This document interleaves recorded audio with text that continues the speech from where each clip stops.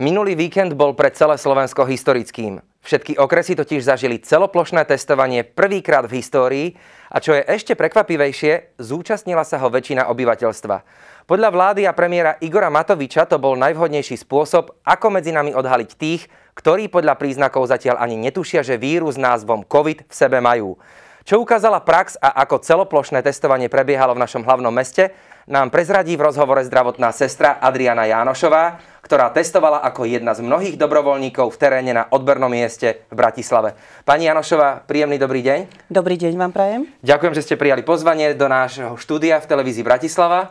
E, poďme od začiatku. Témou a nielen v Bratislave je stále COVID. Aký je váš názor na toto vírusové ochorenie z pohľadu zdravotnej sestry? Ako je to teraz naozaj taká najaktuálnejšia téma a keď teda mám možnosť sa k tomuto vyjadriť, viete, ono, veľa ľudí je dosť tak negatívne naladených. Neviem, či to môžem správne povedať, či je to možno pôsobením strašia jeden druhého. Aj Netreba to, aj médiá určite áno, ale myslím si, že teda v, radšej si poviem prevencia, ako potom hasiť niečo, čo už môže dopadnúť naozaj tragicky. Mm-hmm. Ja sama z môjho pohľadu som to tiež tak brala, že proste nepodceňujem situáciu, ale nejdem sa z toho nejako proste úplne až doslova zblázniť, hej, že snažím sa optimisticky vplývať na tých ľudí, avšak e, stalo sa aj u mňa v práci, že keď som priamo kolegovi vypisovala PNK, samozrejme na diálku, pretože covidové penky sa vypisujú tak, že proste nemôže pacient priamo pacient prísť. Fyzicky, samozrejme, hej. A keď mi povedal, e, že teda naozaj mal 4 dní 40 teploty a naozaj sa to tvári ako nebežná chrípka, ale je to niečo, čo ešte nezažil, tak vtedy sme si aj s kolegyňami tak uvedomili, aha, tak je to tu a naozaj to treba brať tú situáciu vážne. Samozrejme niektorými opatreniami si myslím, že možno aj opatrne, mm-hmm. ale určite je to situácia, ktorá naozaj si klade dôraz na to, aby sme ju rešpektovali. Vy ste boli priamo prítomná na testovaní v prvej fáze ako dobrovoľníčka. Odberné miesto ste si mohli vybrať, alebo vám bolo automaticky pridelené? E, bolo to celkom e, také zaujímavé, pretože síce pôsobím a pracujem v Bratislave, avšak e, keď mi volali z ministerstva obrany, tak sa ma pýtali teda, že kde by som chcela byť, alebo teda či ma majú zaradiť oni. Keďže som vedela, že v našej obci, z ktorej pochádzam, bol nedostatok zdravotníkov uh-huh. a teda aj na základe výzvy pána starostu, tak teda som ich poprosila, či si môžem vybrať. Samozrejme mi vyhoveli, aj keď cez to všetko nás nebolo tam dosť. Aha. Stále nám chýbali zdravotníci dvaja. A napriek tomu ste zvládali tú situáciu podľa toho plánu alebo podľa tých uh, nastavených podmienok alebo toho počtu, ktorý sa očakával alebo neočakával? Viete čo, situáciu sme zvládli, lebo poprvé zvládli sme ju nejako museli. Uh-huh. Samozrejme, bolo to aj na základe toho, aký sme si my vytvorili systém pretože mali sme ľudí okolo seba, mali sme veliteľa vojska, ktorý teda to celé manažoval po tej jeho stránke, avšak čo sa týkalo odbornosti, tak sme si museli s kolegynkou aj s kolegom lekárom, sme si museli my vytvoriť ten systém a samozrejme vonku dohliadali policajti a teda vojsko na plynulý to, aby priebeh. na ten plynulý chod, aj keď plynulý v úvodzovkách Nedalo sa to vždy plynulo, pretože potrebovali sme dodržiavať odstupy, potrebovali sme čas na očítanie vzoriek. Proste to boli veci, ktoré sa museli naozaj dodržiavať. Čo všetko ste museli ešte predtým absolvovať pred samotným nástupom na to odberné miesto ako tým? No samozrejme sme museli prejsť školením, pretože niekto si možno myslí, že oblečiem sa, idem, vytrem, ale aj ten výter nie je v úvodzovkách len, že vytrem nos a mám proste výsledok. Treba správne anatomicky a vlastne preto aj zavolali na zdravotiakov čo sa týka oblečenia, hlavne keď sme sa vyzliekali, pretože za ten deň, za tých 16 hodín sme sa prezliekali trikrát, pretože oblečenie sa muselo dekontaminovať, muselo sa samozrejme správne do biologického odpadu uložiť, aby teda a následne dezinfikovať všetky plochy. Takže áno, aj týmto sme si predtým prešli krátkým takým školením. Spomínali ste, že boli ste na odbernom mieste dve alebo tri kolegyne celkový počet, ktorý vykonával testovanie, bolo na vašom odbernom mieste teda koľko? Na našom odbernom mieste nás bolo 9, uh-huh. 9, ale je to teda vrátanie aj e, veliteľa vojska, vrátanie e, policajta, ktorého sme mali prideleného, úradníčok, ktoré teda boli fajn, veľmi zlaté. Oni spisovali teda na základe občianských preukazov a údajov. A tu by som chcela teda podotknúť, ak môžem, že niektorí ľudia sa ma pýtali, že teda či naozaj tie vzorky sedia s tým daným človekom. Ja za svoje odberné miesto môžem povedať, že áno, pretože e, certifikáty, ktoré sa vypisovali, som podpisovala vzorku, ktorú som očítala testovala, som následne priniesla a jeden pán sa ma pýtal, že teda, neviem, či to bola ale skúška, alebo naozaj chcel vidieť ten svoj test, mm-hmm. že či teda by sa mohol pozrieť, ako sa to vykonáva. Samozrejme, že som mu to umožnila s určitým odstupom, pretože tiež sme ho museli chrániť a chrániť aj seba samých a povedal, áno, vidím, že teda naozaj je to všetko precízne, takže nemôže sa stať, že by sa vzorky zamenili.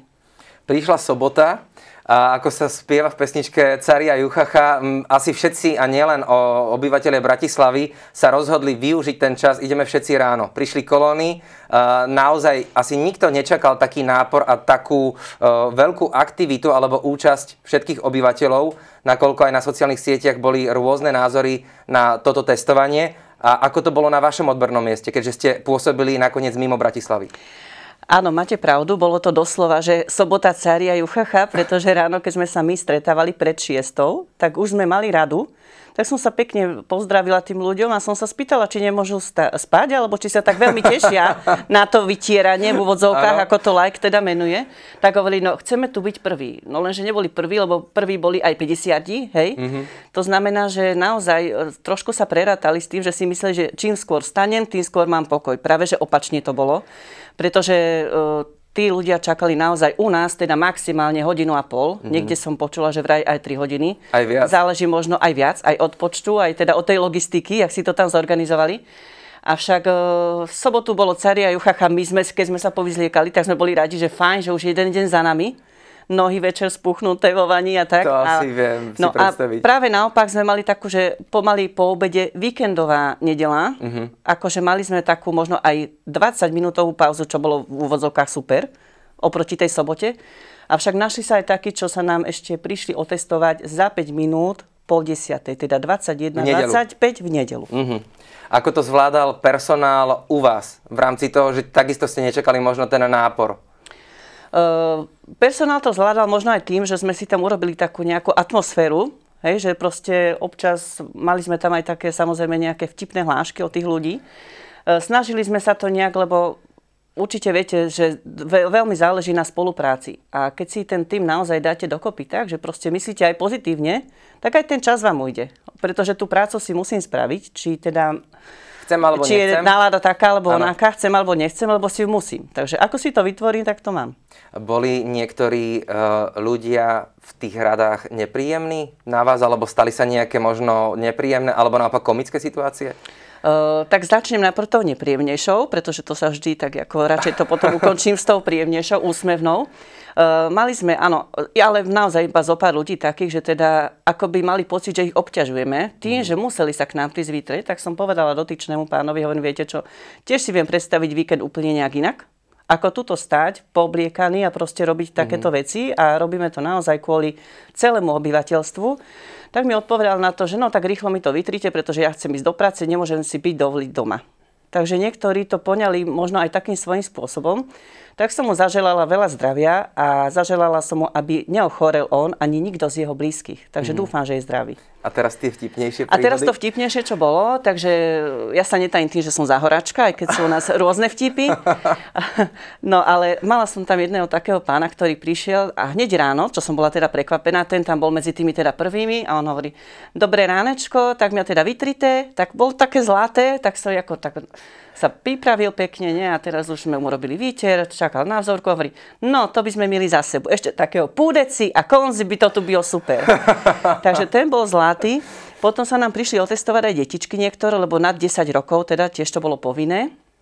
A uh, asi za takú hodinku prišiel za mnou veliteľ vojska a mi hovorí, no sestrička, mám tu pre vás takýto dáček, hovorím, dáčeky nepríjmame, proste testovania, tak on hovorí, nie, toto musíte zobrať. Tak mi dal na nástenku, že také detičky, keď čakali na výsledok, tak mi nakreslili obrázky kolegynke, tak to, to bolo milé. také milé, hej. Ale taký, že covid obrázok, no škoda, že som to nepriniesla ale tak dali tam také smajliky usmiaté, tak zrejme to malo byť také, že zvíťazíme Alebo už je, hej, už, už je na odchode, že, takže áno, tie áno, smajliky uh, snáď budeme vydávať aj na svojich alebo svo, tvárach našich blízkych, pretože to rúško veríme, že pôjde čoskoro dole. To želám všetkým. A čo sa týka napríklad tých, ktorí prišli na test, ale zrazu ten test nebol negatívny, ale pozitívny. Aká bola tá reakcia, aký bol ďalší postup? Uh, no, práve toto sme sa my bavili s kolegyňou, pretože keď sme zistili, že hups, test pozitívny, ktorá z nás to pôjde oznámiť dotyčnej osobe. Mm-hmm. Takže som sa k tomu poduja, podujala. Teda, že a boli aj teda, takí, hej, ktorí mali uh, Mali sme, mali sme a práve, práve pri tomto si dovolím tvrdiť, ak niekto povedal, a tie vzorky, to bude všetko negatívne, nakúpilo sa veľa testov a čo, národ sa otestuje, aj tak to bude všetko OK. Mm-hmm. Nebolo. A práve ja som zostala tiež pozrieť, už keď sa mi tam začala tá druhá čiarka vykreslovať, hovorím, aj, aj, ten test ten naozaj je výpovedný, mm-hmm. určitým spôsobom. No a teraz ako to urobiť? Prišiel za mnou veliteľ, pretože on nosil, ja som podpisovala certifikáty, pretože to tiež mohol podpisovať len zdravoťák. Mm-hmm. Úradničky vypísali iniciály, ja som to skontrolovala a podpísala, alebo kolegyňa, ktorá test vykonávala, pretože sme sa striedali. A teraz, keď veliteľ zobral tú obálku, hovorím, viete čo, musíme to urobiť logisticky, musíme to urobiť samozrejme GDPR, ochrana osobných mm-hmm. údajov. Takže zavolal mi dotyčnú osobu a ja som mu poradila, že teda nech ju zavolá, pretože mi niečo nesedí v údajoch z občianského preukazu. Uh-huh. Dotyčná pani prišla samozrejme do inej zóny, nie vrat, nevratila sa tam, ano. kde proste sa robili odbery. Tak z druhej strany som vyšla von a tam som jej to diskrétne vysvetlila. Samozrejme, ako sa hovorí, že na 65 rokov ľudia sa nemuseli testovať. Táto pani zrovna prišla dobrovoľne, pretože má doma vnúčence, má doma deti. Vyšla pozitívna. Takže aj vzhľadom na ten vek som jej to musela nejako opatrne vysvetliť, aby sa nezlakla, aby naozaj ešte sa jej niečo nestalo na základe toho Zvládla oznámenia. To? Zvládla to, hej. Zvládla to, zobrala to s takou pokorou, vysvetlila som jej všetko, proste 10-dňovú karanténu, oznámenie lekárovi. Samozrejme, že sa musí izolovať, mm-hmm. nemusí sa ničoho báť, aké príznaky, ktoré keby naskytli, ako má postupovať, to už také veci, ktoré my zdravotiaci ovládame.